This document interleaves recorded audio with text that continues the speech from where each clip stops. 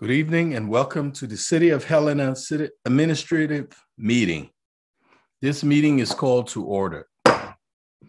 Welcome and thank you for participating in the City of Helena City Commission Administrative Meeting. We are pleased to be able to provide this alternative meeting format in the city's effort to broaden public participation.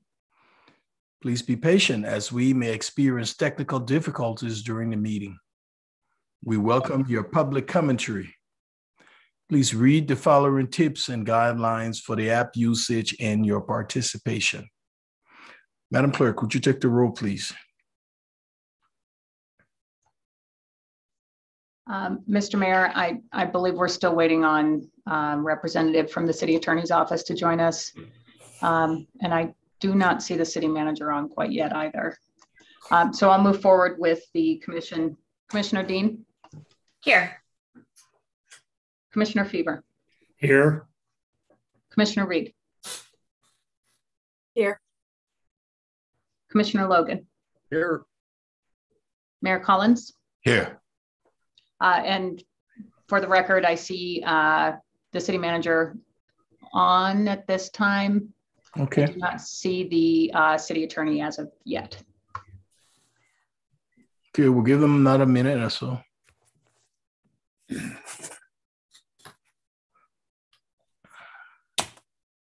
nice to see you, Wilma. I hope you're doing well. Nice, bright, sunny day. Wind's blowing a little hard, but you know, it's 50 degrees out there, and all that snow that you like so much is just going away. Going away.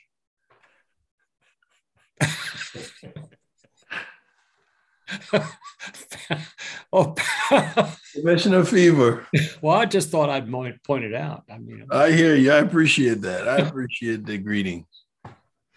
Madam Clerk, do we have the attorney? We will move on, and um, if there's anything, we will look at it. Okay. Commission comments, questions? Any comments, discussions from the commission? I see here Parks Board recommendation. Commissioner Logan, you have the Mr. floor. Mayor, thank you. Um, you know, Mr. Mayor, as you know, I'm an ex officio representative of our commission on the City County Parks Board. And during our January meeting, the next steps of considering the idea for a regional parks district were discussed. And as part of that discussion, Mary Hollow of the Prickly Pear Land Trust informed the board that the Trust for Public Lands has offered to pay for and run a poll to obtain information about a mechanism for the regional management of resources and one that looks at funding mechanisms related to those resources. I think it's important to understand that the Trust for Public Lands, they're out of Bozeman, uh, they can pursue this polling independent of city and county commissions, but I think they were wanting the support of both bodies before going to the public.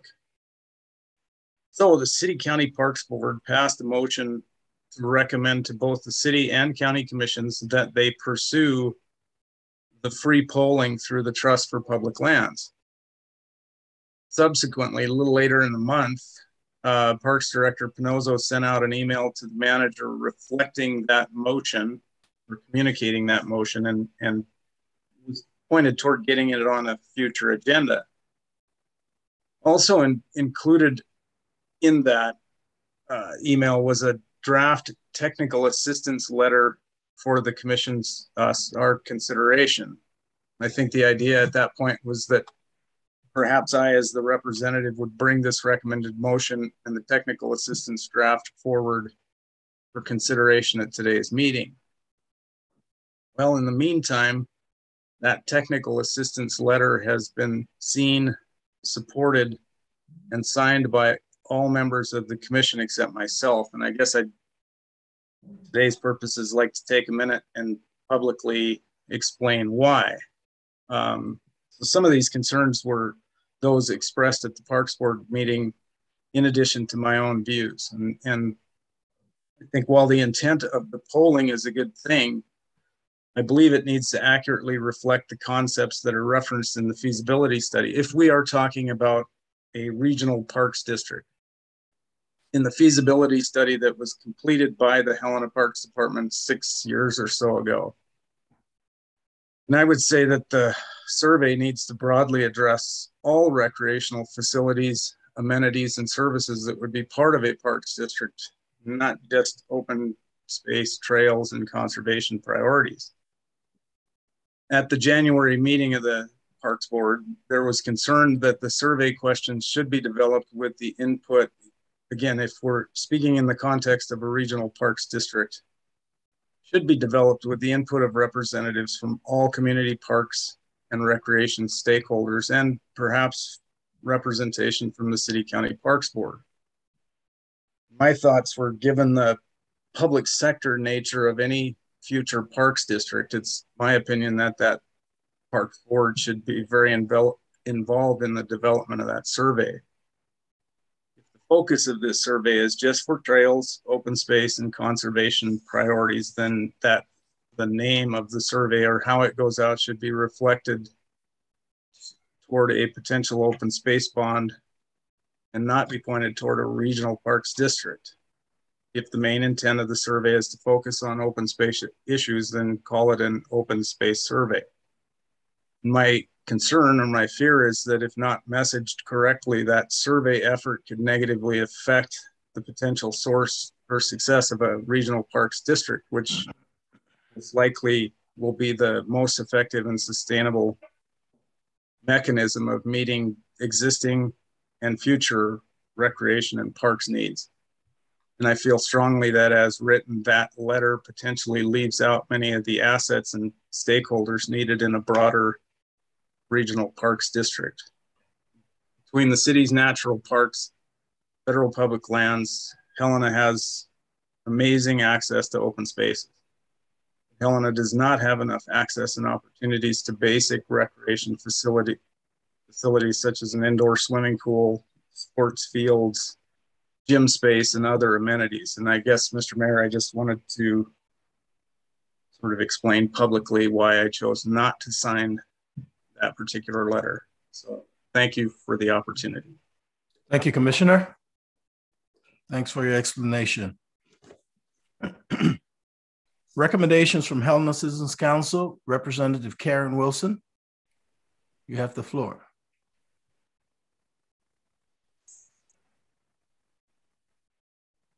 You have the floor, Karen. Hi, this is Karen. Um, yes, I have an update and um, thank you, Mayor and Commissioners. We had our uh, first meeting in January for our oath of office. And we also um, have all been signing up to attend commission meetings. And uh, when we meet in February, we will start um, listing out some of our priorities for the year but we are all invested in uh, listening to what's going on in the city and the work that you're doing and providing input as we are able to. And so we understand there's several very um, important uh, topics up, like the issue around housing and such. And so we do want to reach out to each of our districts to get um, recommendations and we are in the in the beginning stages of the work for this year, but we're off to a good start. So that is my report. Thank you. Thank you, Ms. Wilson. City Manager's report, Manager Harlow-Schalk. Good afternoon, everyone. Um, Good afternoon. it is a great set of uh, sun sunny day outside, uh, Commissioner Feaver. It's so nice to see the sun. I, I agree with you. The um, potential of all of those icebergs also melting is so nice. so the uh, today, this afternoon, I wanted to um, make sure and share to you the uh, the Q2, so that's quarter two work plan. So we're in a, um, a particular uh, budget cycle, and we've tied our uh, our, our FY23, excuse me, FY22 fiscal year 22 budget cycle includes the work plan. And this is the first year that a work plan has been uh, put together. So really, uh, I want to start communicating with you all the interconnection of the work we do as well as the amount of funding we spend so that you can see more clearly the connection of the work to the outcomes and then also how we're watching spending in relationship to activity. So I'll first turn it over to Commissioner Danielson, or excuse me, uh, Finance Director Danielson and uh, Zach, who are our is our uh, projects coordinator to, and um, excuse me, not projects coordinator. I apologize, budget officer, so that he, the two of them can provide an update um, to you both, and will come back to me at the end for the um, work plan, and which will transition into the training. So thank you. Thank you, City Manager Harlow-Schalk. Um, good evening, Mayor and Commissioners. Um, if the City Clerk will allow, I will share my screen and um, uh, go through my presentation.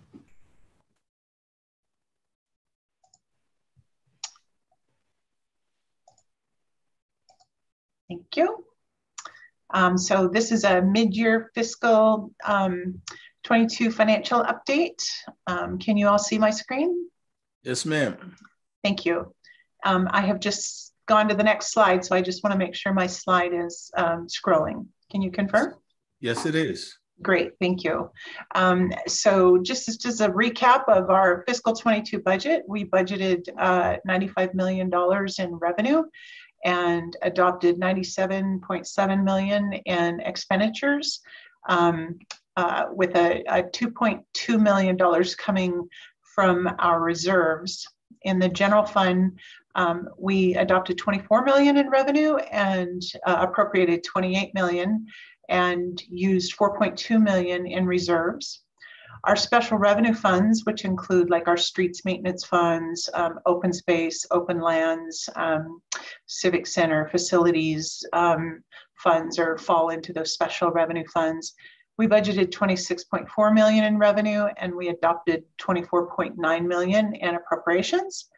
And our enterprise funds, which are business, are funds such as the water, wastewater fund, um, transfer station, transit, um, parking, those are uh, golf, those are all enterprise funds. Those combined, we adopted 31 million in revenue and um, 31.06 million in appropriations with almost just a break even for those types of funds. Um, for the um, explanation on the general fund reserves that we use. Last year, we budgeted to use 4.2 million in reserves in the general fund. That encompassed um, several large um, outlays, such as our uh, ERP financial um, software conversion. Um, we transferred $235,000 to the golf course for debt service. Um, we had some one-time consulting projects that we budgeted for police radios and some deferred maintenance in the parks um, departments. And I'm sorry, was there a question? Yes, yeah, sorry, Sheila. I just wanted to ask a quick question before you move off of this. Um, were these when you you call them reserves? are they actually the general? Did it include the general fund savings as a result of the CARES? Is that also included in these dollars? Yes, thank you. Yes, so we did designate, um, so what went into reserves from the prior fiscal year did encompass a lot of savings from CARES fund dollars that, that were allocated. And those CARES fund dollars were allocated one to the ERP software conversion for $1.5 million among like the police ridos and, and other types of costs that were, were had the opportunity for those one-time dollar expenditure, expenditures from CARES fund savings in the general fund. And um, so with that, then we, you know, out of that 3.5, that mostly was coming from those CARES fund savings um, in the general fund. We've uh, been working on some resiliency items um, that we noted that we would do in our work plan, um, such as uh, updating the general fund overhead cost recovery model, um, we're developing a revenue um, manual development where we're outlining um, methodologies for assessments and fees. Um, we're working on continuing to update our budget policies, and this year we'll be focusing on um, new policies to add to that, one of which is um, our policies to subsidize other funds and activities. I am uh, committed to making more regular financial reports to the commission, such as this one. Um, our Human Resources Department has been very busy this year doing salaries and benefits analysis. Um, our uh, Public Works Director is working on a uh, water sewer rate study with his team. Um, at the Gulf Fund, they hired a new operations manager, um, and he's doing great work out there and reviewing um, operations and efficiencies and looking at cost and revenue analysis out there. And this year we also have the task of administrating our ARPA funds. Go back here. So just as an overall snapshot on our city revenue, um, through December, this is through December, we collected about 42% of our budgeted revenue. Um, you can see that a lot of uh, that is um, um the deficiency of, of, of, halfway is in our taxes. Um, although in January we did collect about $5 million more in taxes and assessments. So those tax payments usually come um, in about four lump sum payments, a big chunk in December, um, a little bit more in January, and then later in the year we get the we get the balance of those tax assessments in kind of two lump sums as they collect them and process them. Then the county forwards them to the city. Um, other uh, um, areas that we haven't quite um, um, utilized our full budget capacity is in other financing, and other financing is really um, loans, contributions, reimbursements, and we had budgeted for some uh, pretty pretty large loans, both in um, the streets assessment fund, streets maintenance fund, and also in the water sewer um, funds. And we have not yet to date taken out those loans. Our charges and services, um, I'm going to move to this next. Um, nope, our charges and services are, are well above um, what what we uh, had had anticipated at the half year mark. However, we had um, most of our water um, metered sales that came in um, due to the dry, hot, long summer. Um, we're at about 88% of what we budgeted for, for water meter sales. Sewer charges are about 75% of what um, uh, we to- in total budgeted. And then um, transfer station fees are at about 58%. So that encompasses those long, you know, summer months where those types of charges are a little bit higher. And then as we go into the month, winter months, they, they tend to be at a little bit lower. So um, my anticipation is that those types of revenues will continue to maintain stability. And then um, the, whereas the taxes and assessments and those types of, of charges will ramp up in the second half of the year. Um, just as a, a, recap to our revenue, um, we had adopted $95 million in revenue. We did um, a bunch of carryovers that came to the commission um, as, as uh, information in about 4.8 million. We've had some budget adjustments that are based on um, either fees, reimbursements, or cost recovery at about 391,000. So our revised and amended budget uh, right now is 100,725,000 for revenue. I've broken down um, our revenue to uh, um, a trend line. Again, we're at about 42%, but I explained that a lot of that has to do with um, other financing sources and taxes and assessments coming in in the second half of the year or um, uh, reevaluating whether we need those or are going to take some of those loans in the current fiscal year. Um, on a year-to-date basis, this is kind of demonstrated as well. You can see our taxes are at about 47, 40% collected. Again, we got a big chunk of money in, in January, which put us at about that 50% mark. Um, you'll look over to the other financing column. We're only at about 21%. That's again, loans um, and uh, um, grants, et cetera, that we may um, getting in the second half of the year. And charges for services, again, represent a lot of those big chunk of those water metered sales and sewer charges that um, we, we collected in the first half of the year where we'll level off in the second half of the year. Um, this just gives a picture of um, you know the different types of revenue um, associated for the general fund. Um, you know the biggest transfers in are um, usually scheduled um, throughout the year. However, some of those some of those transfers are yet to happen in the second half of the year. Um, the rest of everything is looking pretty good. Again, taxes and assessments, we got about another five million um, in this in the in January. Our special revenue funds, the biggest deficit you can see is in um, again our assessments. Um, still waiting for the second half of the year, and our intergovernmental revenue. Intergovernmental revenue represents again state shared revenue, um, county payments to the city, which we hadn't received yet for some assessments, which we got in January, and um, state shared revenue that um, came in January as well. Our enterprise funds, the uh, biggest biggest uh, um, uh, gap here also is in this other financing that we haven't taken out those loans. We budgeted 5.9. We've only um, um, gone out for 565,000 um, in other financing. And just in things and areas to watch for revenues, we're just, you know, continue to monitor our, whether our taxes and assessments are coming in. I think they are. Um, having gone through January now, looking at that, I'm comfortable with those intergovernmental revenue, making sure that um, we're uh, assessing whether or not we're getting the payments that we anticipated um, our state shared revenue and um, also looking at whether or not we're going to be taking the loans that we had anticipated. Um, I know that uh, the golf course manager, operations manager is, is um, really looking at the golf revenue and operations and focusing in on that.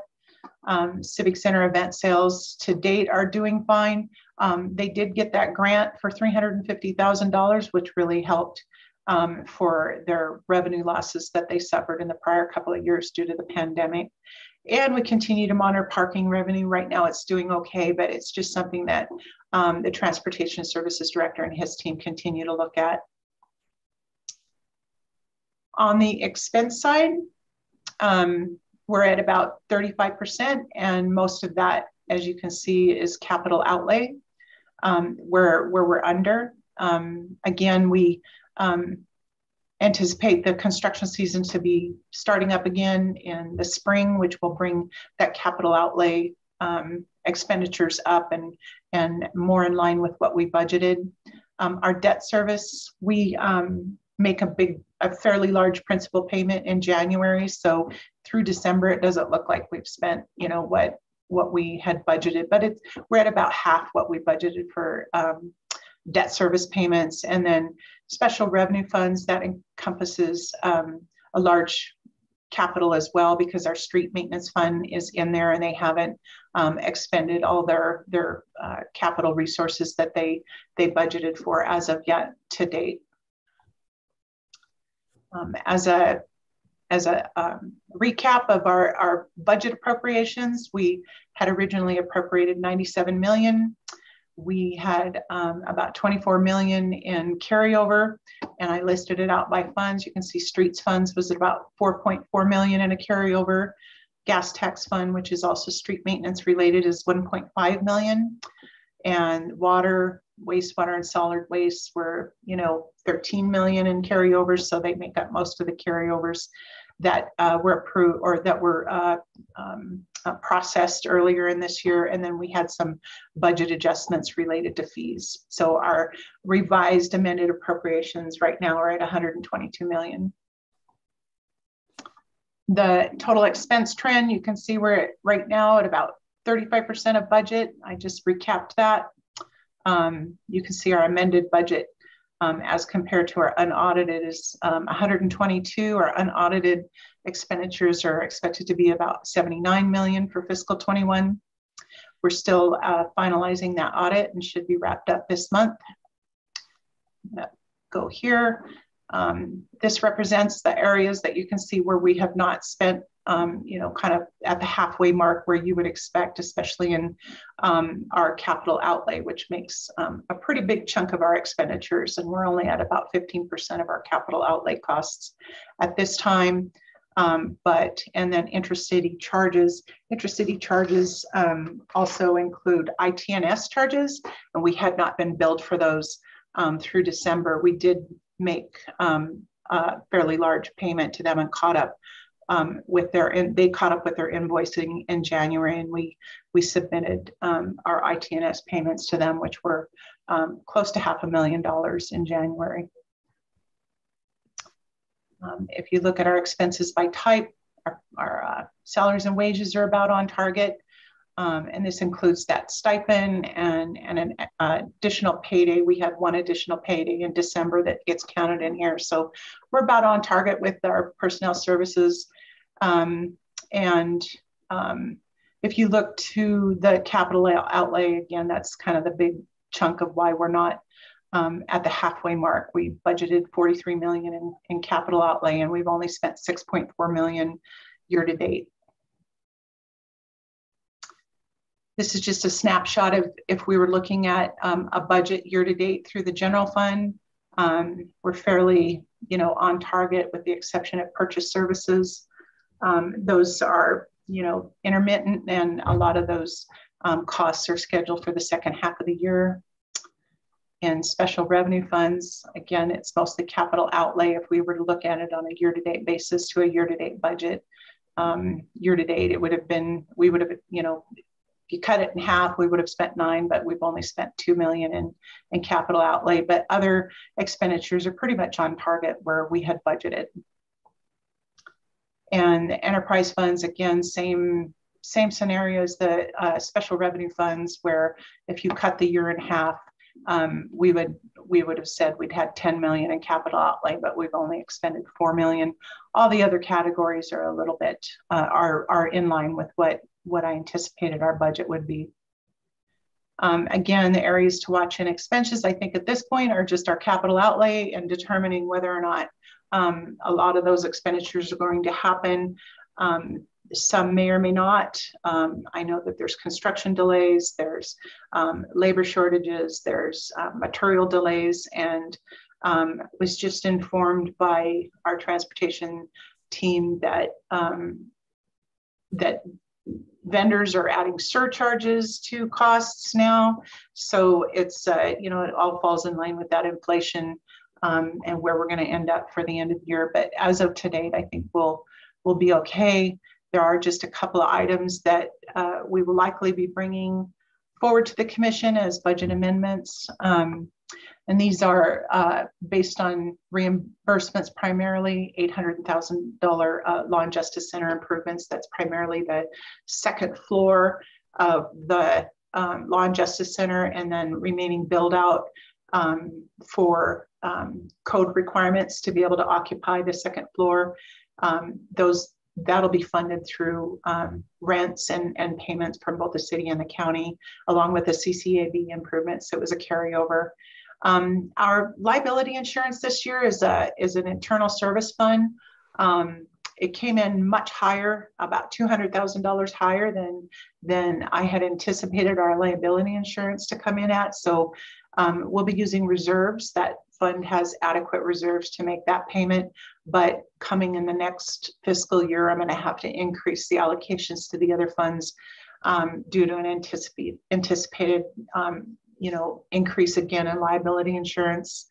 Um, we um, had $100,000 in redevelopment agency funds that um, didn't get carried over that we'll be asking to carry over through a budget amendment. Um, the $129,000 in sidewalk funding, um, that was just a, a timing delay.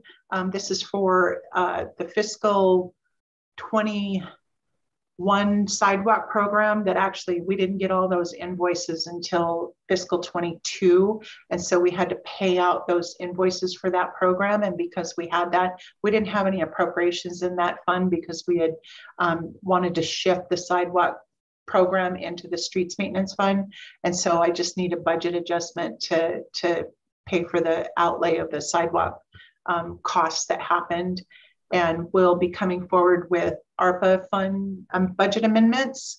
And there was just a, a, timing delay in the CDBG fund. There was a $9,000 um, late invoice that got processed in fiscal 22. So um, we'll be asking for a budget amendment for that as well. And at this point, I am open for any questions that any of you have regarding the financial update.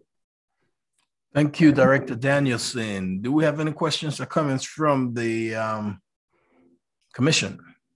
Mr. Mayor, I have a couple, if that's okay. Please. Um, I guess the first one, do we know why the liability insurance was so much higher?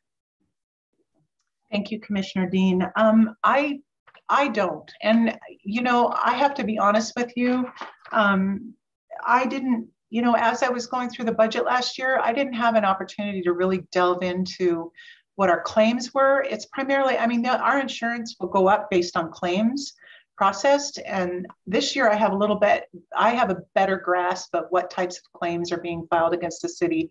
And that does impact our, our liability insurance.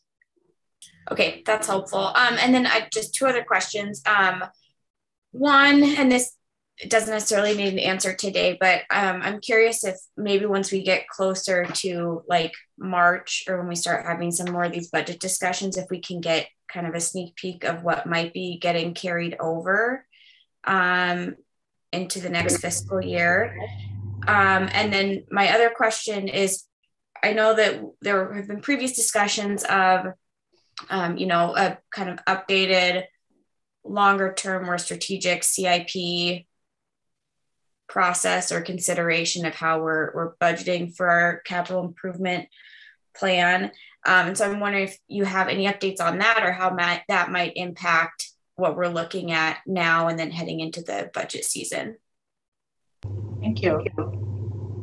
Those are excellent questions. And um, I have been working with um, a team um, inclusive of um, the city manager's office on developing a capital improvement policy. Um, we are still uh, kind of working out some of the details with that. We shared that information with the directors to get their feedback um, on it just last week. And so we're incorporating that feedback and um, we'll be working toward bringing um, a policy to the commission for review the bigger picture I, will just add to um, specific to the capital improvement program is a relationship to the work plan. And because we haven't had a strategic um, capital improvement program, they're just actions um, mixed in with actual work. So uh, the nice part of the capital improvement plan is to pull out those larger investments that will have a, a significant impact to the budget and, and concentrate on those also to integrate those legacy projects that have not been or sh- really shown um, within our budgets year to year. So um, I'll give you an example. Um, uh, the, the, facility, the, the heated storage facility, it continues to move forward, but it's not really pulled out and you don't know how much total dollar is set aside for it in the long run in that larger group of capital improvement projects so that you can reprioritize them. So that would be the intention is to come to you all not only with the policy, but in the years following, the next year we'll be following with the actual projects so you can begin to prioritize which ones you want as a commission to move forward and which you want to um, put on pause or reprioritize. Thank you, Manager Harlow-Schalk and Director Director Danielson. Do we have any other questions from the commission?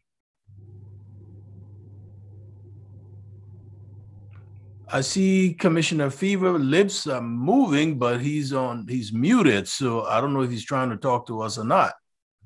I have a family. My oh. family every now and then asks me questions and I try to answer them. So I will stop. Oh, sorry. Any other comments? If not, we'll move along to uh, City Commission orientation, City Manager Harlow-Schalk. Thanks. Uh, uh thank you, Mayor. I'm going to finish the, the second part of the uh, first item really quickly, and that's on the work plan uh, as well. So the integration of the work plan eh, next to the spending is important so that you can see how close we are in relationship to spending and the actions that the budget called out that we would be doing this year. So you should have a copy of the work plan with you. I just wanted to highlight uh, already, just wanted to highlight some, some key areas for you. Um, I, I, think they're important at this point to share uh, some quick updates and then ask you if you have any questions. Um, first, I wanted to highlight the um,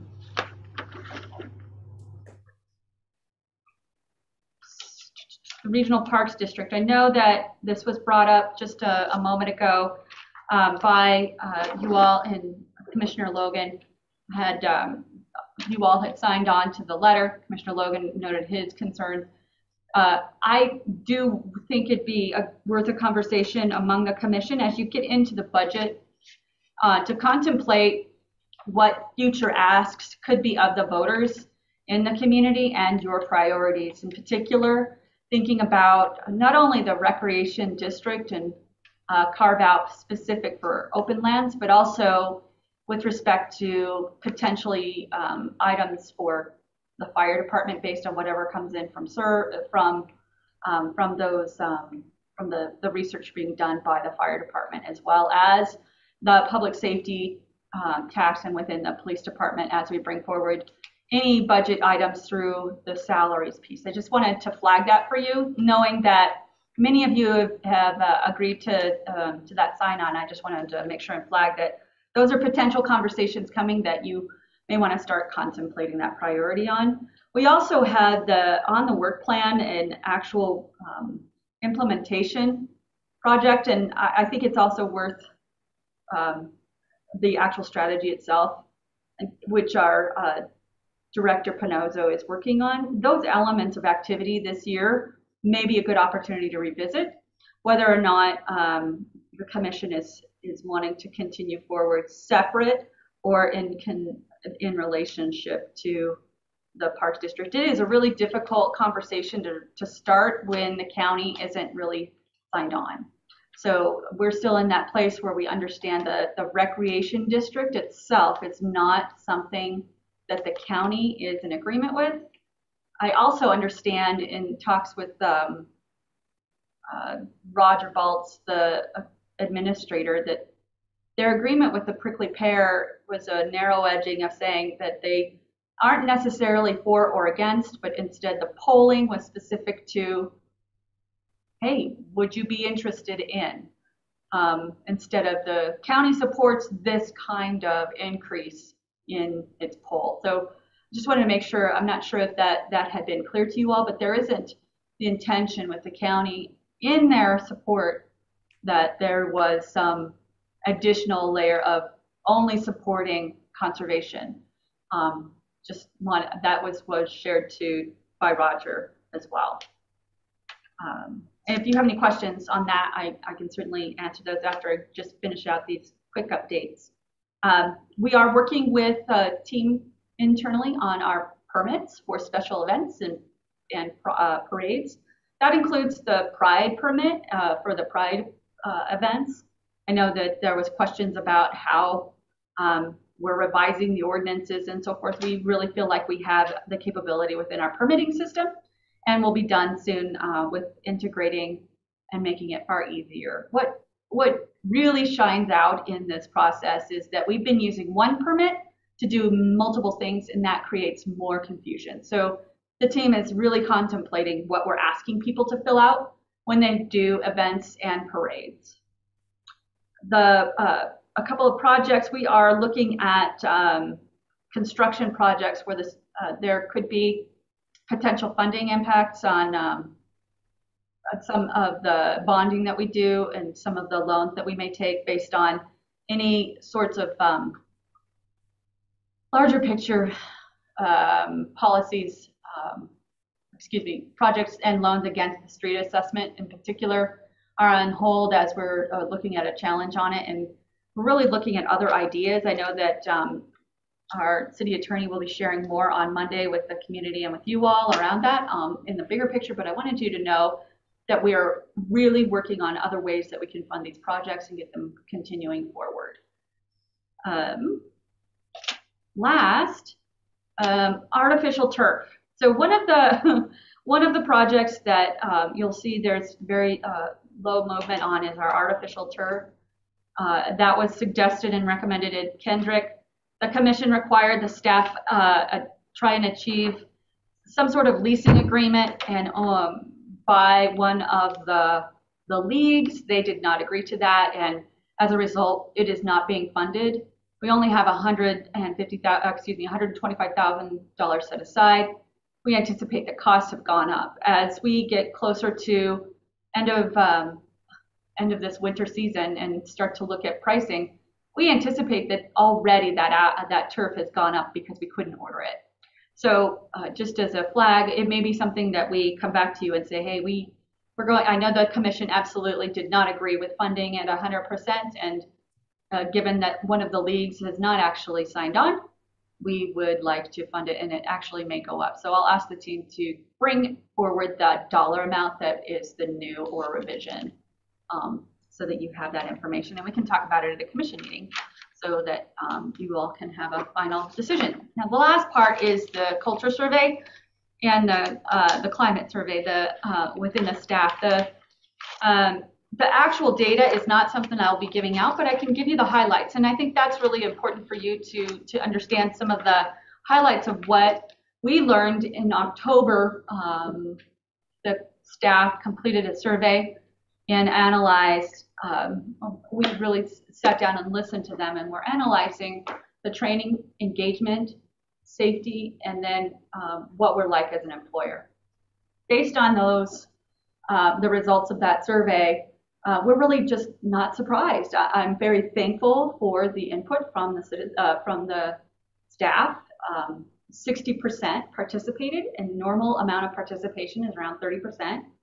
I, believe that is uh, in relationship to the support um, they have shown in that in that survey around um, being engaged with their work, and also they they noted some just other big high level achievements um, and agreement with us that the, they're keeping up with their licenses and by way of training, and that the safety in the workplace is is very much taken seriously by the city, and that um, staff and other departments are cooperative and working together. So that's really great news. Um, and really does represent that team environment that I've been really encouraging. Um, some areas that we're going to be working on really do relate to this, this larger conversation around compensation that we've been having, um, even as a nation, really. And uh, want to, if the um, city, oh, thank you. Have the screen share. I'm just going to share with you a, a high level, um, and I'll also send this out to you all. It's a, a infographic of a recent analysis of the Great Recession, the Great Resignation, excuse me, the Great Resignation. And it was done by Mission Square Research, and it was focused on public employees, public sector employees, and those in their jobs, and, and notably the interest um, specifically in change in jobs, retirement, and uh, leaving the workforce. So thought I would share these, these key points because they actually translate similarly to the city of Helena. So what are the big three reasons that are uh, that are impacts to the uh, the staff are actually not all that uncommon in our sector. So um, want a higher salary or a better benefits package. They feel burned out and they need li- uh, work-life um, balance. Those are all things that I think we've all heard and had conversations around, even coming up to this meeting. Um, what I really found interesting was that this this real focus, which I believe, and I'm going to sh share to you next, that um, there's a difference between reducing stress and retaining employees. And so the reducing stress is you know, providing salary increases and hiring more people to reverse reduce workload, along with that emotional support. But really, the the larger picture is this offering of improved salaries and showing more appreciation for employees and recognition for what they do. Um, in our own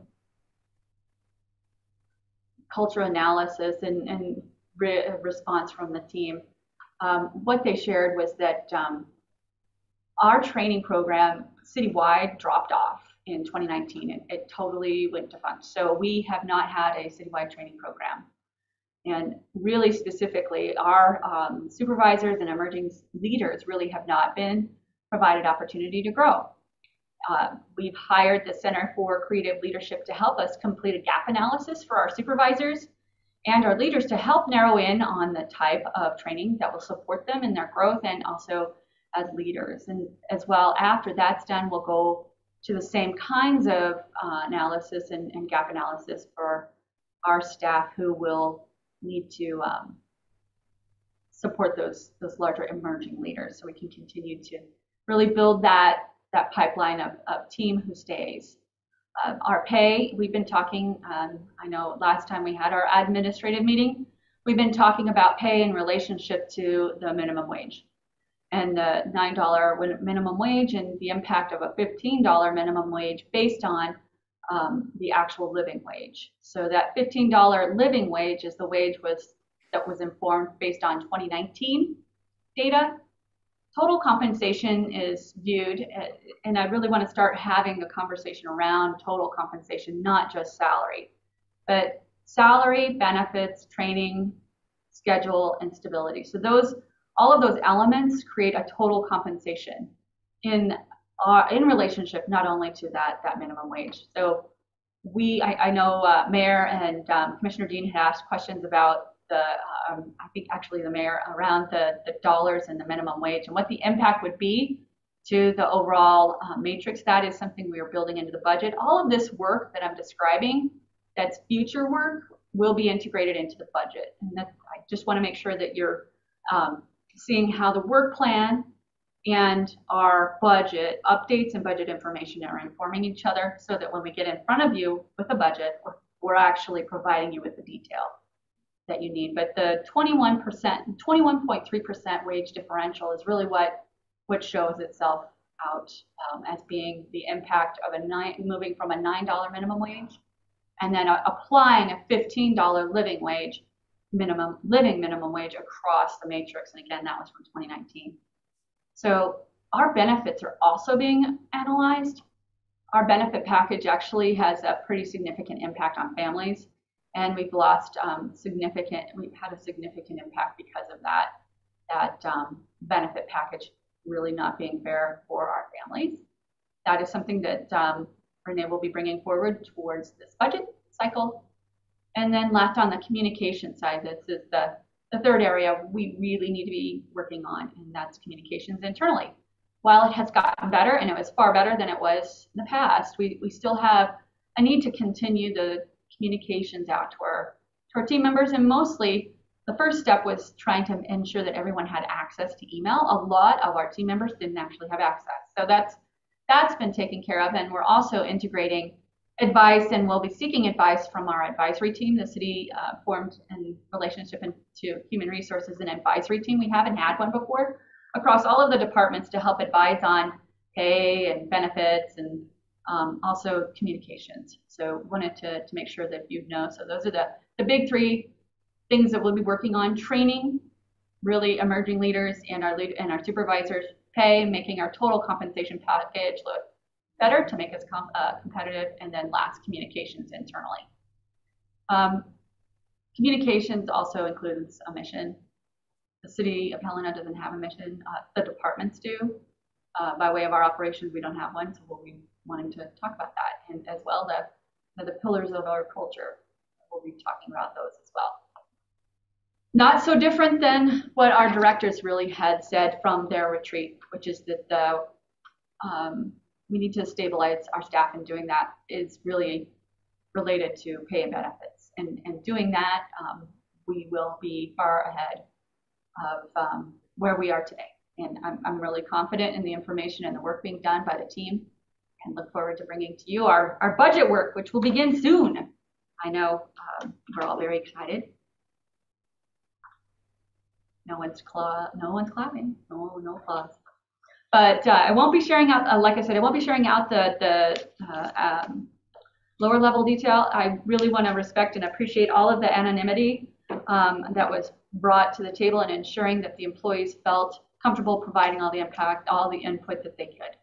Um, but I think it's also important that you know those bigger level, um, uh, higher level outcomes and, and activities that we'll be working on. And those are things that um, I confirmed were okay to share. the last um, next place I wanted to turn to is moving into the um, orientation and the, and the onboarding of the new commissioners and quickly getting through the city manager's items.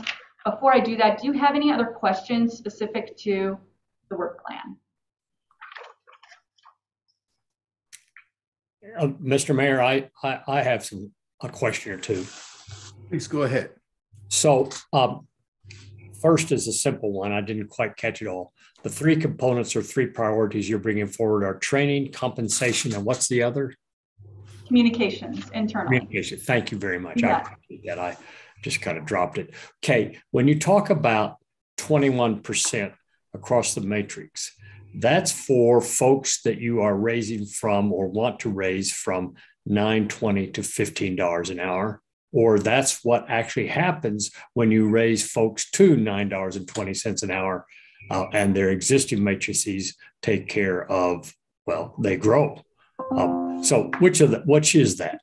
Correct. It, it is the latter. So when you when we move and adjust the pay matrix to comp, uh, to address that new $15 minimum, that is the ripple effect of of that change. But nobody is receiving now who was at below minimum wage, you know, the old minimum wage. No one moved to $15 an hour on base. Um, they may have potentially if they were in a uh, in a, a, employment situation where they were already, um, you know, making more than nine dollars and twenty cents an hour. Um, they might have moved up toward that, but nobody's base right now is actually minimum wage fifteen uh, at uh, fifteen dollars, at a so-called livable wage. Correct. The the the uh, the group that had not been moved out of that um, below $15 wage was the seasonal team. That was what I shared to the commissioner. So the seasonal, uh, the Okay, seasonal season- team, Yes. yeah, that has been fixed and has been so that when we open positions beginning in, in the spring to hire out our seasonal staff, we will have them at $15. I know, Commissioner, you had asked which positions, and uh, we're at the um, $9 rate, uh, rate and moved to 15. Um, uh, we'll have those built into the budget so you can see the change over time, especially at mid-year and this change. Another conversation I want to make sure and share to you all is what happened this week with our dispatch team. Our dispatch team wages were pretty pretty significantly behind, and we were very um, much at a place of high risk. Uh, already, we were at the 12-hour shifts, which we have not had to implement with our police department, where there is all you know there is ongoing concern around staffing, but the the critical place is our dispatch system, and we hit that. I reached out to our friends in the county and requested that we go ahead and start the movement of that team into the 21% increase. They are so far behind, which they agreed to. I, I say that we moved, uh, that request was made because the county uh, provides the dollars for that group through the um, mill that is related to public safety. So those dollars are not operational dollars of the city. Those dollars are county dollars related to the mill that's related to public safety. So I wanted to make sure you knew that we were in a, a pretty critical place with our dispatchers and um, that will be implemented ASAP. So I, I appreciate what you've done there, uh, city manager. So let me just then clarify, make sure I've got it right. Sure. Um, everybody at dispatch, minimum wage, base wa- wage is nine dollars and twenty cents an hour. Um, and as that 920 worked its way through the matrix, that total cost to the county, I guess, in a mill is a 21% increase. Is that correct? That is a that is a reasonable uh, assessment. I, I'll ask also if um, the finance director Sheila, if you wanted to um, lay it out differently as well. Um, in total, that differential is it a 21 across total, or would you say it's really because the dollars by way of um, benefits that play out in that change also? So it, it may be a, a different conversation. So I'll let Sheila share that. Thank you, City Manager. Um, Commissioner Feaver, um, Mayor, and other commissioners. Um, so I was working with the police interim police chief Brett Petty on the calculation of the impact of um, the increase to the dispatchers, and they'll be requesting um, about two hundred and eighteen thousand dollars more a year. Um, that's inclusive of the how how the benefits um, are impacted by the wage increases as well, such as FICA, Medicare, um, liability, et cetera. So those things are increased, you know, PERS, retirement contributions all increase as well. So for that group of folks to include this um, two two supervisors in that area, the impact was a little over two hundred thousand dollars. Is that a percent increase? What's that percent increase? Um, sorry, I, if you'll give me a second, I'll bring that up. So, Mr. Mayor, I do have a, a continuing question here, if I may, when Sheila is ready. Yeah, we still have an agenda. I just want to remind you guys that um, it's okay to ask your questions, but you must be mindful that we have an agenda to complete.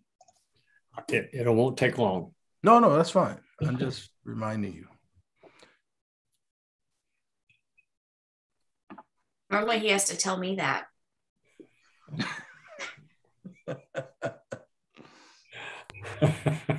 oh boy.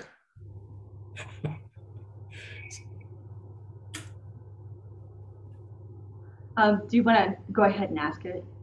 Well, I, I just, if I follow this along, uh, it is your hope, so far as you are able through the budget process, to move employees to $15 as a base salary where they are not now. Uh, and that's just, maybe you don't want to answer that now, but uh, that would seem to be what I heard you say. Uh, meanwhile, you did make significant improvements in the dispatch uh, by just simply bringing base to $9.20. And uh, that was a costly item, but one that I applaud. And I to thank you very much, City Manager, for taking care of that uh, circumstance where we had people leaving as fast as we were hiring them. Um, and I think, you know, compensation does make a difference. And in this case, I hope it makes a difference that we could show a good retention of dispatch here in six months as we can measure things out. So that was really my question. Mr. Mayor, I will not ask another question about employee compensation tonight. I will hold you to your word. Sheila, did you have that percentage? Yeah, just the, the total impact comes to about um, 17% um, over the prior year budget. So um, where we were at with the prior year budget. And that's because medical and, and, and um, dental and vision and um, those things don't have any, they don't change along with wages. Thank you. Mm-hmm. Okay, so if we're ready, I'll move us to the next piece, which is the city manager orientation. Um, I know, Mayor, I want to be conscious of your concern around timing. We are planning to go to six o'clock still, is that correct? We'll see how the agenda goes. We'll see how everything goes. Um, it should be at six. Okay. I just want to make sure that we're hitting six, and I'll I'll be conscious of not uh, over jabbering. I, a lot of the content actually is something that we hit um, with our um, trainer Dan Clark. So uh, I'll just quickly go through just a high level again, re- really kind of a revisiting, and then um, ask if you have any questions. So just big picture again Montana's constitution shows this that um, our as a local government entity, we are a constitutional shared rule local government. We're not a home rule. Local government home rule would um, mean we had come uh, really the the autonomy on our, for example, subdivision regulations or zoning. Those are things that are not uh, on the home rule side. Those are actually shared rule with the state. They help set those subdivision rules, for example. Um, we are a city charter form of government, and uh, within the city charter, it outlines the role of the city manager. And then within that uh, charter, also the commission and how we all uh, work together. And then uh, last, the city code also sets out which departments exist and, and how they exist and, and, and their roles in particular. Um, the beauty of the system that is Helena is that um, it is one of the my favorite kinds of local governments to be engaged in because it is uh, not one section of town that prevails. It's not one elected person or party, and it everyone serves at large. Uh, you all are um, serving the entire community, which is pretty special and, and pretty great um, voices uh, to have. So uh, thank you very much for hiring me as your city manager to be in that space because it is such a cool uh, place to, to work from when, when everyone's all working at large. The um, city commission really sets that big picture strategy for us. We implement the strategy through the work plan and then fund the work. Just in general, the organization itself, there's 12 departments, um, 368.13 full-time employees, and our uh, fiscal year 22 budget was $97.7 million, and that's across all funds. Our operational priorities um, citywide were really based on um, what actions we've seen over the last year, as well as integrating the, the feedback from our, our team and um, from the directors. So work-life balance, stabilizing our staff, creating some consistency and direction, and really implementing that fiscal stability and relationships and community trust. So that stability really um, for our, our staffing does relate very much to that full compensation picture. Just as a reminder, when the commission brought me on, I had uh, really clear communication from you all that there's a focus on relationship building and that between strategy and organization and financial and fiscal stability, these are the two equal weighted three parts primarily that stood out. So those have been those 13 goals in 16 months, those are the real areas that I've been focusing in on. Um, just a quick overview of the staffing. I, I want to point out one item. You'll see the uh, this this is in the um, budget itself at a higher level. Um, obviously, the citizens of, of Helena, um, elected officials, uh, the city commission, um, the, the, boards and committees that you all create that help inform you. We have staff that do provide liaison back and forth and supporting. Um, also, the clerk of the commission and the office of the commission. And then separately, the Helena Citizens Council. The council itself is an independent board. It's an interesting, and I, I really have to say, a pretty, really not common um, activity in other cities. There's, uh, I say that having my experience as a, a local government leader in another state, but also across the nation in conversations that I've been privy to in my career. So, um, and last, an elected official group of the municipal court judge. That municipal court judge doesn't, I, I want to uh, point out the distinction here. The court judge actually does not supervise the court clerks or the clerk, the operations. The operations side reports to the city manager, along with um, the city attorney, human resources, finance, community facilities, police, fire, community development. These are all of the separate departments. We do have a joint city-county information technology. That group actually um, works as employees of the county, and they um, provide support to the city as well.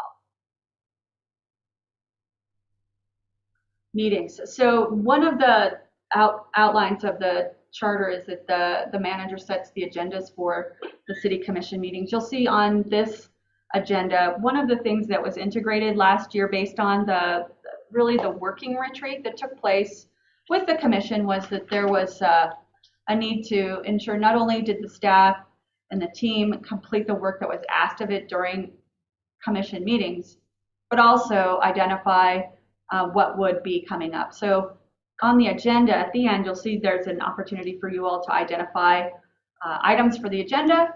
That's where I would take those and add them to future agendas.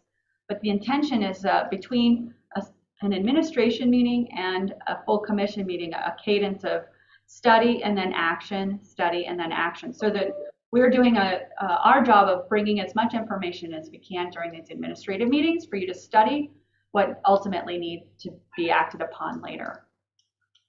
Um, this, this process of um, adding an item to an agenda was something, it moves, uh, agendas really are intended to move um, your priorities forward. And um, as the new commissioners, um, Feaver and Reed, joined us, I had put in front of each of the items on that agenda a relationship to your strategic outcomes. Those strategic outcomes were adopted for the budget, and the budget integrates the actions of the team. So the budget itself um, outlines in, in its own separate way how we achieve your strategies. Um, there's the, the process that uh, we had suggested previously for adding items is really similar to the bylaws.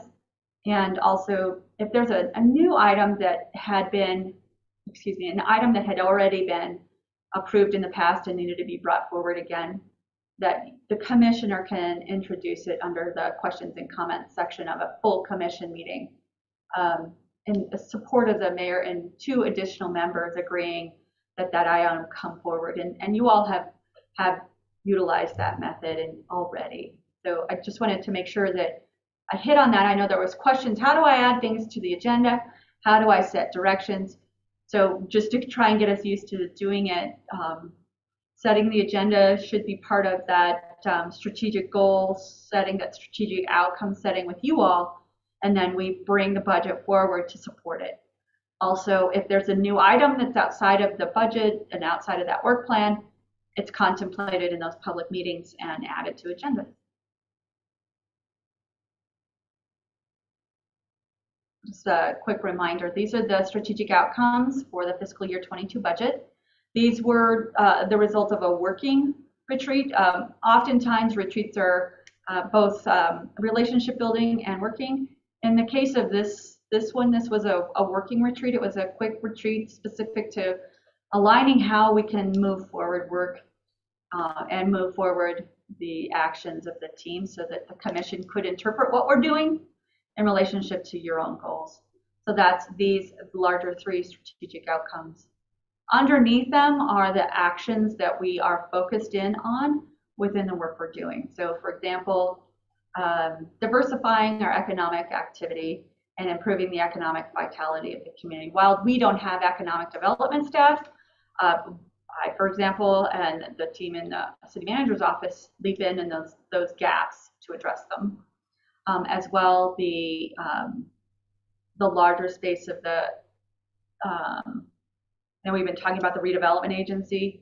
That redevelopment agency um, and its actions are also part of this um, redevelopment on private property and sustainable in, infill. There's just a, a layering of all of our work across each of these in, inputs and then last um, just a, I wanted to just share to you all a quick example of how um, new development works. And it just is a simplification of the relationship between um, policy work by the commission, operational implementation work, and then um, how you all actually see it in the community. So quickly, high level new development, and I know we've, we've kind of gone through this exercise already. So the development, Montana state law, big picture, uh, subdivision law state shared rule with the city. They also have the Montana state policy around growth. So we have the city growth policy, which responds to the state's growth policy.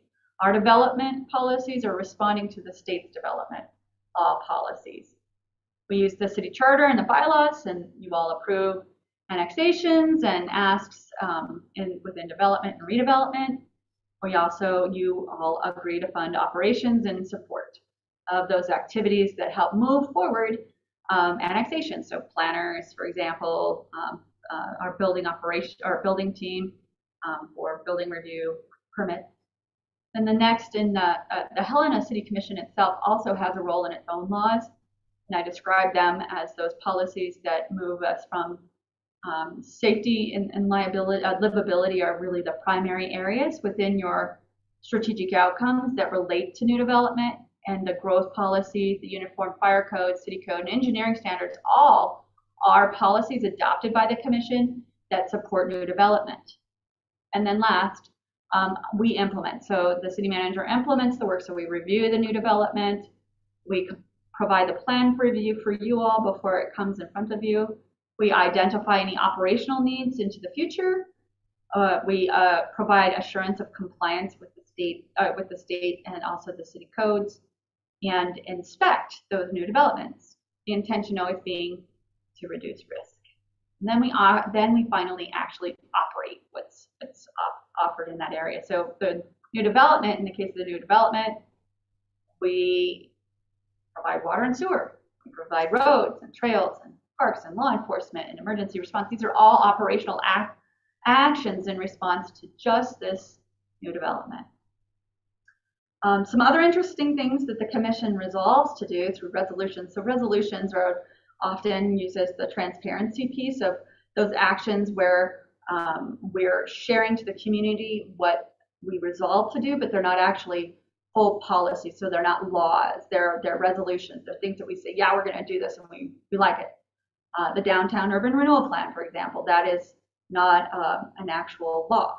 The downtown master plan, not a law. Um, complete streets, streets policy. Now, the interesting thing, and that I've learned uh, working with Thomas, who um, we'll share more on Monday about Thomas, but uh, wonderful. I'm so thankful for Thomas's advice, and specifically around resolutions. In Montana, the use of resolutions is also by law and used as law. So there are some places where, in fact, when we pass a resolution, we're passing a law. Um, so I, we'll, point those out as we go through them in the um, agenda memos as we as we do the work with you all. Um, last, these are some of the other master plans. So these are these are policies, but they're they're really plans. These plans effectuate the operations. I know there's been lots of conversations around how many plans do we have to have. Well, the, the plans really do actually set out um, by you what we will do. And if we're following those plans, then we're doing the work that you've asked us to do. Last, um, I'll uh, work with you all uh, to set a, a, strategic planning retreat. I had shared that uh, during the last um, uh, orientation conversation that you all had together, the conversation around having a strategic planning retreat. Uh, the retreat would be great to have. Uh, I know we haven't had uh, a relationship based uh, retreat. It would be great to have um, the city commission and the directors so that you all could uh, form a relationship with our directors um, who implement with the team, but also understand this is a new group of commissioners if you wanted to focus in on having a retreat that was focused on uh, not only uh, relationship building among you all, but also the, the strategy, the actual work related to the strategy. So um, my suggestion and uh, was is that um, the commission work together in setting a date for a uh, six, uh, four to six hour working retreat with a relationship um, as well that you're evaluating whether or not the current strategic outcomes for the fiscal year 22 budget are the ones that you want to continue with. And then also if there are revisions to underneath those strategic outcomes, the actual actions, the goals, the objectives, if those need to change, we talk about those at the retreat. I was really contemplating not changing them. I know Commissioner Dean, you said, well, those apply. I think when we talked about this before, those apply just already. That we haven't confirmed that, but I, I don't disagree that uh, we have had so much um, work that we're, we're doing and much of our stability work, fiscal stability work, is going to take three years and larger, and then larger picture, some of the uh, the larger stability and resilience work is going to take seven to ten. So to do that, really have to have an uh, uh, an understanding of where we're going over a longer period of time, as opposed to the agility of a, a year-to-year change. So um, I was also in that same idea, um, Commissioner Dean. I appreciated that that point that you you and I might have actually had. Uh, why are we doing something different, or maybe we don't need to, and maybe we should just start start from that space.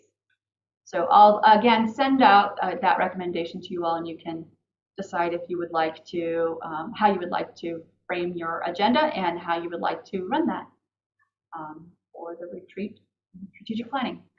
Thank you, Mayor. Then um, that brings us to 5:15, and I won't spend too much more time on um, the overview of kind of the basics of the city manager. Any questions?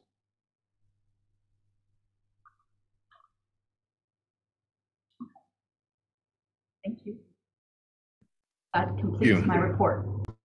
At this time, do we have comments or questions from the commission? Do you have any public comments on the topic above?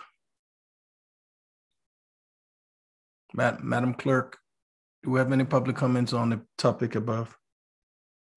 Uh, Mayor and Commissioners, I have no hands raised online. I have no written public comment in the Q&A.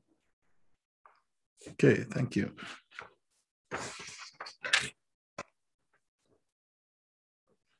City clerk update. Board application review, HOLMAC, HPAC, Railroad TIF, City Commission, ad hoc, Solid Waste Steering Committee, City Commission Representative. Madam Clerk.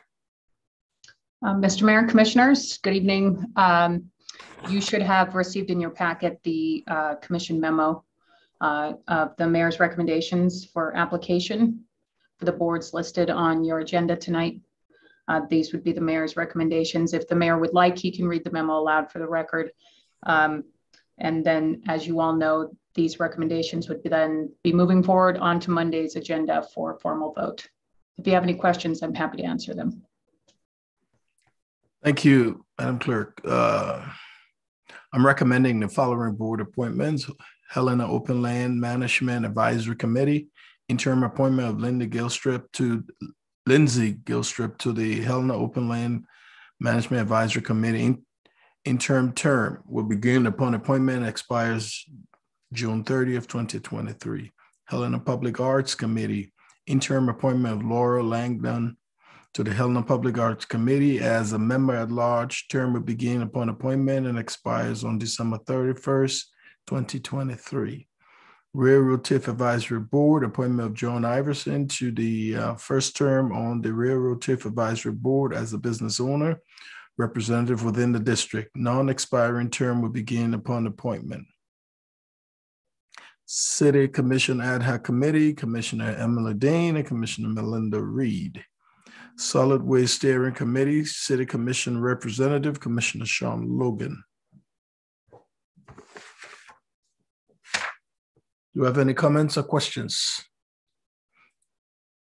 Public comments?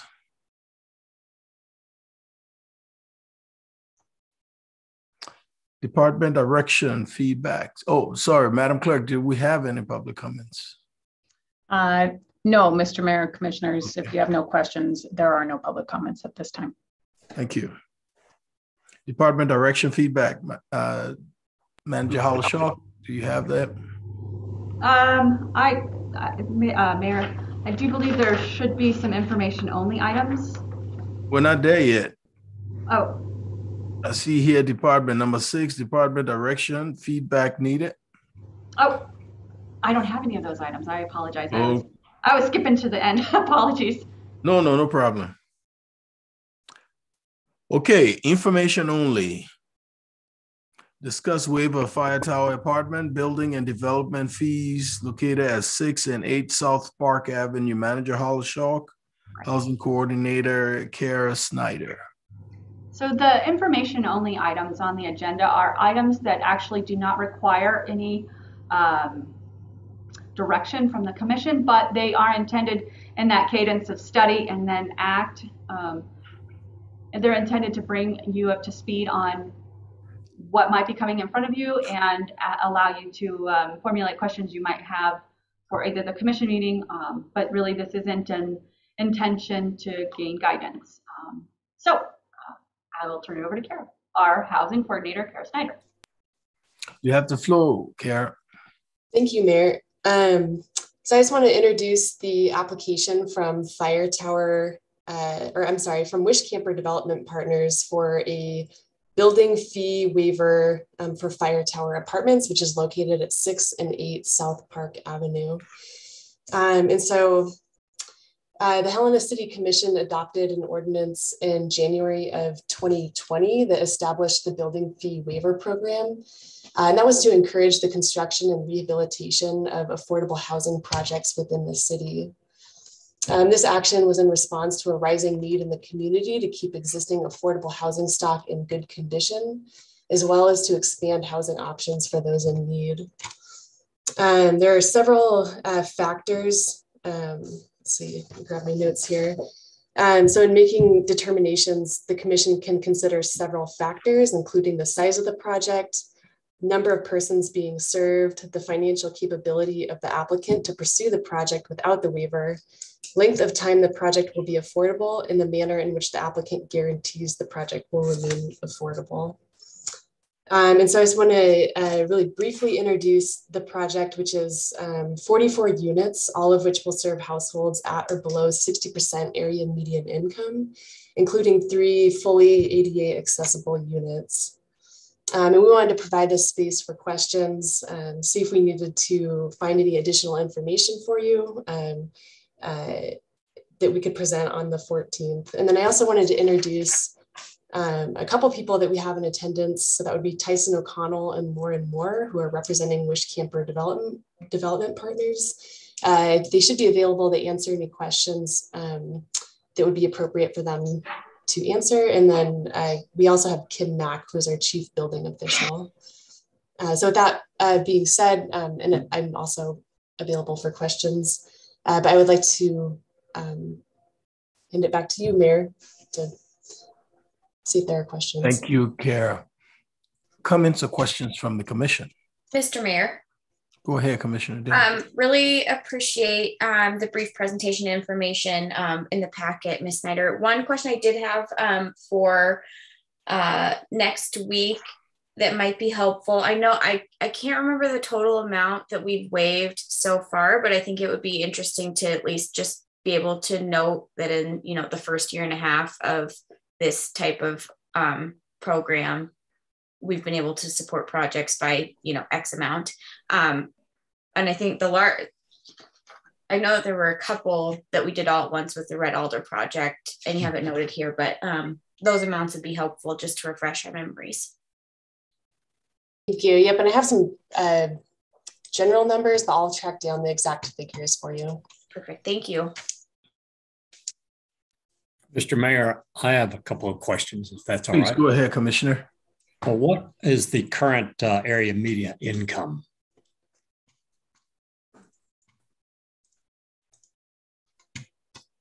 Let me pull that up for you. You want to add it to also to the uh, detail for next week too, yes? Yes, I would. You you don't have to answer that tonight, but I would like to know that before we decide on the issue. So maybe these questions can all be, you know, sent around later, so they don't have to be answered. You know, uh, second. I can I can speak a little bit to that too. This is Tyson O'Connell, the developer. Um, yeah, but uh, the commissioner say it can be done later. Okay, great. okay, it's just good to know. Um, and what are other properties other than Red Alder have we had full waiver? And I think we said we had a the previous commissioner granted full waiver to the Red Alder uh, project. Is that correct? That is correct, and that's actually um, it's a, a, newer initiative, and that's uh, so far been our only application. Right. Uh, it has been very successful. I think it's a, it's a very nice project, as is the fire tower project too. So these are Absolutely. not questions meant to skewer anybody; these are just for information. Um, and uh, did we also put conditions on that uh, the red alder? That's um, like six percent of the aid of the uh, area median income, and that's 100% of the units? I believe so, and I'll track that down for okay. you for that 14th. I would just want to know on before our meeting on Monday that uh, uh, this looks like that, if that's the way to put it. So the fire tower project looks like the red alder thing. That would be very helpful. Thank you. Thank you, Commissioner. Do we have any other comments or questions from the commission? All right, we'll move along. Transportation systems. Transit update. Manager Harlow-Schalk, Transportation Systems Director David Knoepke, Transportation Superintendent Elroy Goldman. Thank you. Thanks, Mayor. I will turn it over to uh, Director Knoepke. And this is the effectuation of the um, moving to on on-demand transit services and uh, this was already implementing. Uh, I want to make sure that you're up to speed as questions come up from citizens. Not that there's a, an item coming before you, but that instead you have this information. Um, no action again is required. Thanks, David. It's all yours. You have the floor, Director. Thank you, Mayor and Commissioners. I'll share my screen real quick. We got a, a couple slide presentation for you. I'll make it quick. Um, So the capital transit update, this is just a brief kind of comparison of our current operation versus demand response.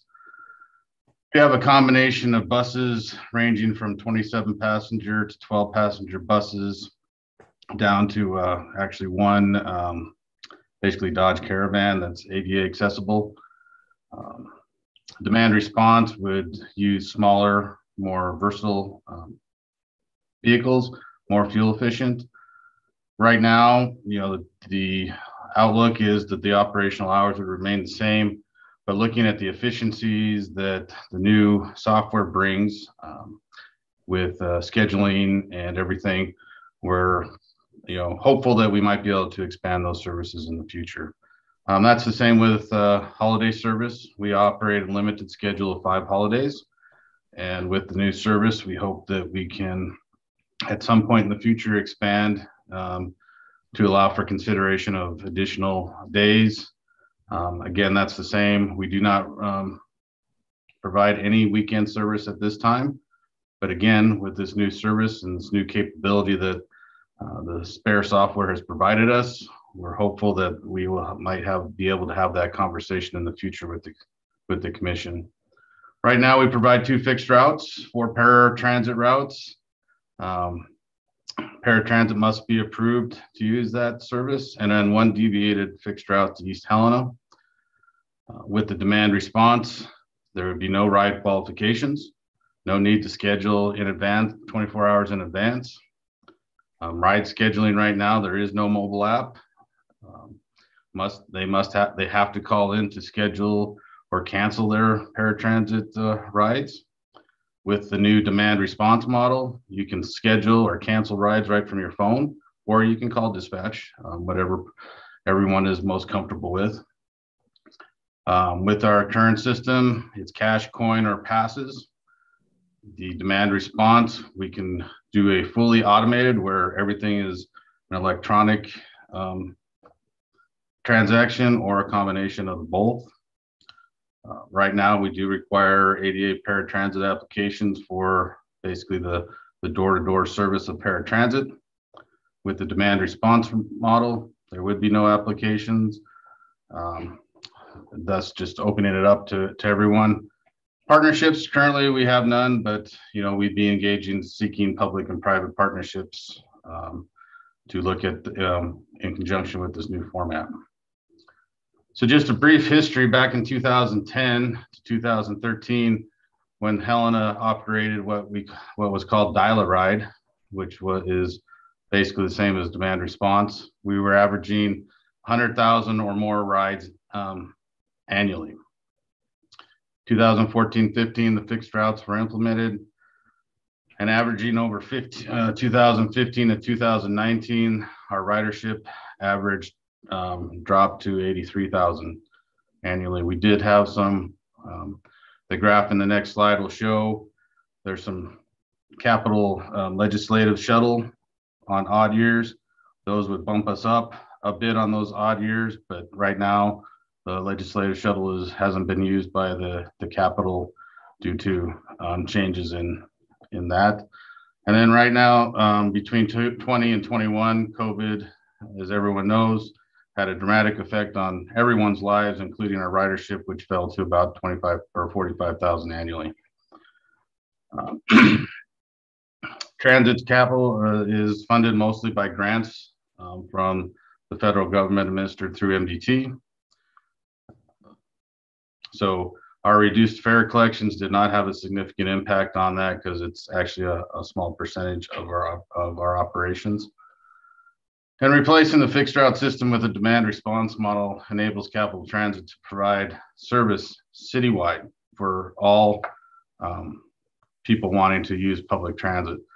You know, this is going to allow those that might live, you know, outside the walkable distance of the fixed route system to use this system and to call for a ride when they need one. Um, yeah, school children can get on the bus um, and get picked up, you know, either at a virtual stop where they try to congregate if there's multiple rides in one area, or you know, it's going to basically demand response, which is door-to-door service. Um, so since uh, we started implementing the new software from Spare, um, they switched in scheduling and dispatching. The paratransit ridership support has been positive.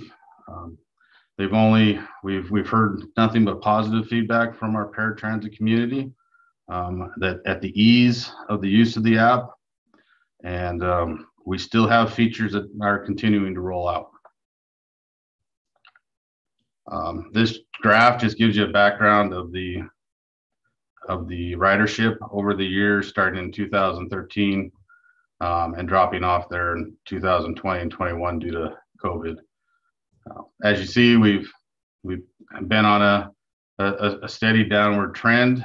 Um, so, uh, in response to that, that's where back in 18 and 19, we did several public events asking the public what um, what they were interested in, what they wanted to see from transit, and um, overwhelmingly, um, a lot of the comments came back that they wanted more service. Um, they wanted the door-to-door service, and so that's when we started really looking into this model, um, getting the the finances in place to get the software, and then eventually moving to this. So our our what we're doing now is moving towards 100% universally shared rider um, service using a web-based scheduling and dispatching software that supports user-friendly scheduling, fare payment and collections, and allows for universal access to all user types.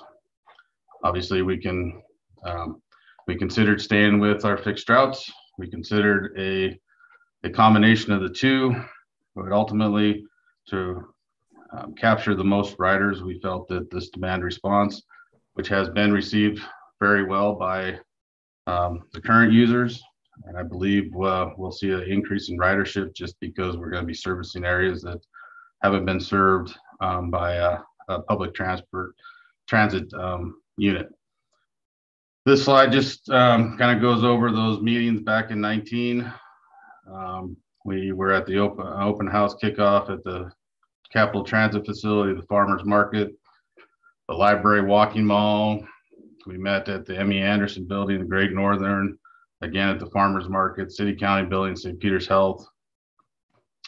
And um, the type and number of, of input received, 65 were demand response service, 63 more stops for medical offices, which this would provide. Um, 60 stop at Helena Food Share, 55 availability. So um, this new demand response model really hits on all those top um, items that were requested by this public um, interaction. So this is just some screenshots of what the app looks like to kind of give you an idea. Um, you know, schedule a ride, tap a button. Where do you want to go? Um, you start with get picked up where, and then share your ride with others going your way. Um, those are just a couple screenshots. There's a lot of uh, flexibility for the riders with this app again. And I'd be happy to answer any questions if you have them. Thank you, Director Knoepke. Comments or questions from the commission? Mr. Mayor. Go ahead, uh, Commissioner. Um, I guess I'm gonna. I'm wondering if maybe we might be able to get maybe like a very brief, even an email of like monthly updates as this is obviously rolling out. I just downloaded the app and it looks like any, you know, ride sharing, which is cool. Um, but I'm, I guess one, if we could maybe get like e- monthly email updates as we get more um, accounts and participation, I'd be really interested to see like closer um, data on that. My other question was, and I know I saw this in the work plan spreadsheet, that you guys are in the middle of getting the communications plan implemented for this. I guess how is that being received, and then what are what are kind of the strategies of the communications plan for this? Because I do think there's going to be lots of people who are very interested, um, and then hopefully we can maybe start expanding hours as well.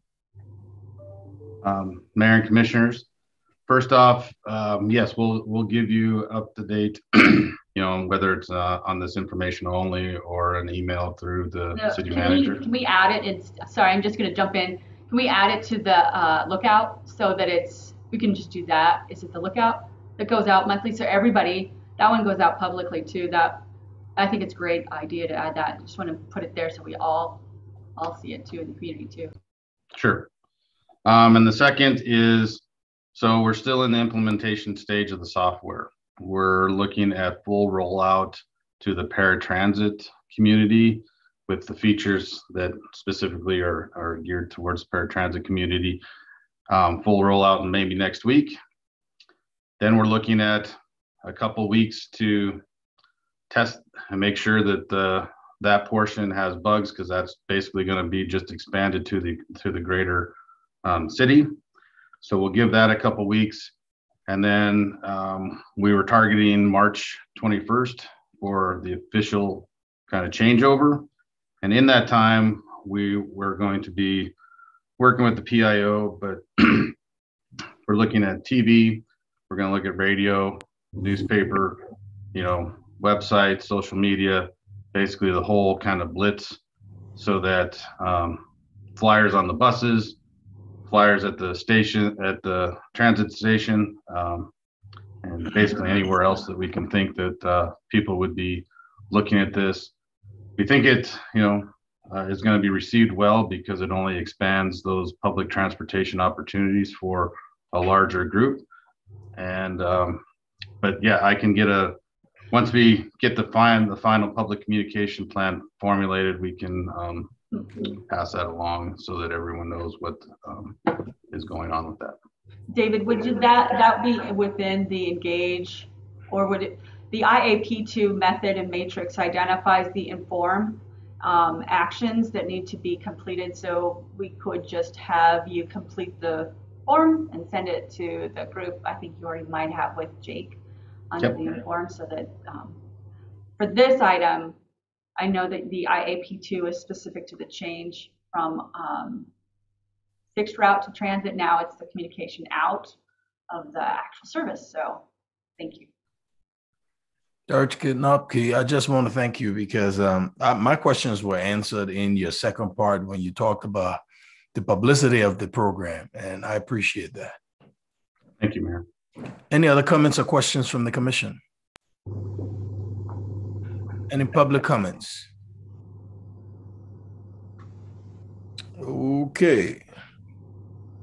Review of agenda for the next commission meeting, draft proposed future commission administrative meetings agenda. Manager Harlow-Schalk.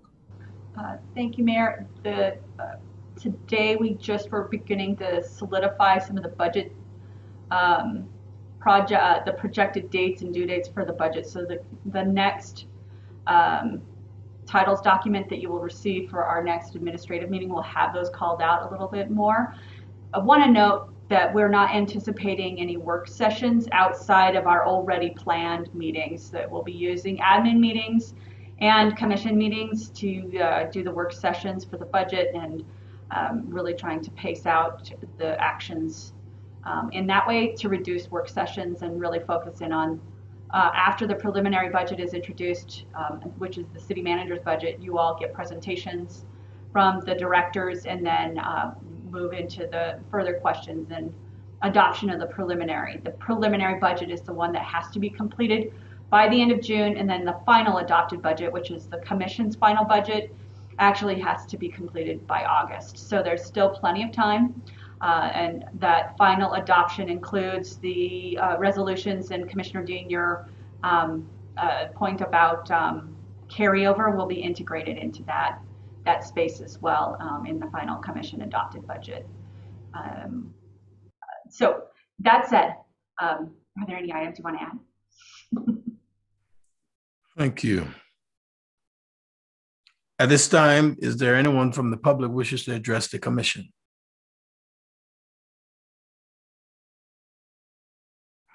Madam Clerk, do we have any raised hands? Mr. Mayor, Commissioners, I have no hands raised at this time, and I have no written public comment. We'll give them another 45 seconds, and then we'll move forward.